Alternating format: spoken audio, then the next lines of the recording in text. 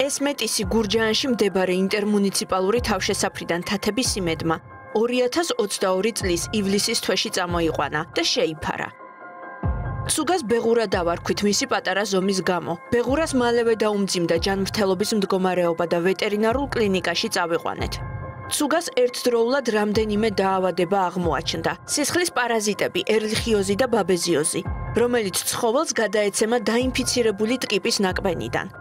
კანქვეშა ტკიპა დემოდეკოზი და ყველაზე საშიში და მძიმე დაავადება ლეიშმანიოზი. ლეიშმანიოზი ზოონოზური დაავადებაა, რომელიც გადაეცემა ცხოველიდან ადამიანს და პირიქით, ლეიშმანიოზი ჯანმრთელ ცხოველს გადაეცემა მოსკიტისგან. თუმცა გასათვალისწინებელია ისიც, რომ ყველა კოღო არ არის ლეიშმანიის მატარებელი. დაავადება საშიშია როგორც ძაღლებისთვის, ისე ადამიანებისთვის, რადგან იწვევს შინაგანი ორგანოების დაზიანებას. ვეტერინარმა აღვიხსნა, რომ დაავადებისგან სრულად განკურნება შეუძლებელია, თუმცა ბეღურას გაუმართლა. დაავადება გამოვლენისთანავე აღმოვაჩინეთ და შინაგანი ორგანოების დაზიანება დაავადებამ ვერ მოასწრო. ამიტომ უსაფრთხოების ნორმების მკაცრი დაცვის შემთხვევაში სუგას ჰქონდა შანსი, რომ დაავადების პროგრესირება შეგვეჩერებინა. გადავწყვიტეთ ბეღურას გადარჩენისთვის გვებრძოლა. ექიმის რჩევით ძაღლი ისეთი სახის ანტიპარაზიტული საშუალებით დავამუშავეთ, რომელიც კოღოს კბენისგანაც დაიცავდა და ხანგრძლივი მკურნალობის კურსი დავიწყეთ. რამდენიმე თვიანი მკურნალობის შემდეგ შესამოწმებლად მოვიყვანეთ ბეღურა. ირაკლი ექიმიც უკვე გველოდება. რა დავიწყოთ თვალები? ფეხუთები ვნახოთ. ჭკინები გვაქვს მოსაწრებით. მოდი ავიღოთ სისხლის საერთო ანალიზიც და ბიოქიმიაც გვაქვს საკონტროლო გასაკეთებელი.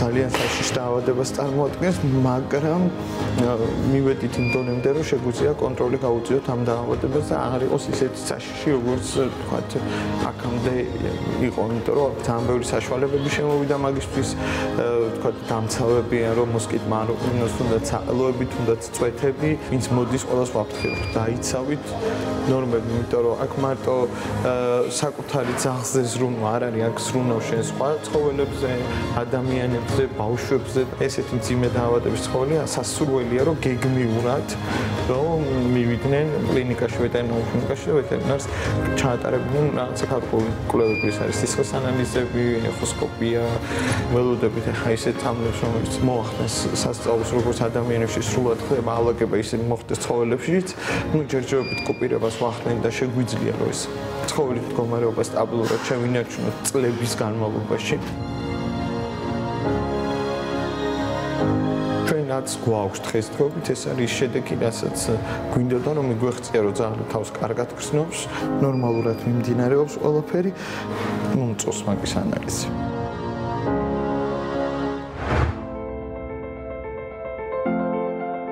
სწორი მკურნალობის კურსის დამსახურებით დაავადება მუკან დაიხია. ბეღურას ჯანმრთელობის მდგომარეობა დამაკმაყოფილებელია. თუმცა სამკურნალო პრეპარატების გამოყენება მთელი სიცოცხლის განმავლობაში აუცილებელია. მდგომარეობის დამძიმების თავიდან ასაცილებლად. ბეღურაკი ბედნიერ ცხოვრებას ისევ თათების იმედთან გააგრძელებს. ევროპის სხვადასხვა ქვეყნებში და ბრაზილიაში უკვე შემუშავებულია ლეიშმანიოზის ვაქცინა და კიდევ იქმნება ახალი ვაქცინები. მაგრამ მაღალი ფასის გამო სამწუხაროდ საქართველოს ბაზარზე ეს ვაქცინა ჯერჯერობით არ გვხვდება. თუმცა ჩვენი ოთხფეხა მეგობრების დაავადებისგან დაცვა შეგვიძლია ხარისხიანი ანტიპარაზიტული საშუალებების გამოყენებით, განსაკუთრებით გაზაფხულსა და ზაფხულის პერიოდში, რომ დავიცვათ მოსკიტის კბენისგან. ასევე ანტიპარაზიტული საყელოს გამოყენება კიდევ უფრო შეამცირებს კოღოს კბენის ალბათობას. ვიზრუნოთ ჩვენს ოთხფეხა მეგობრებზე და გავუფრთხილდეთ მათ. ჩვენ თათების იმედი ვართ.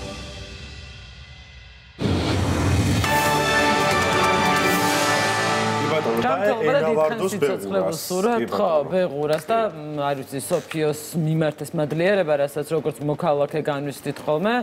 ალბათ საერთოდ თათების იმედი რომელიც ხან რომელ წერტილშია ხან რომელ წერტილშია ქვეყნის.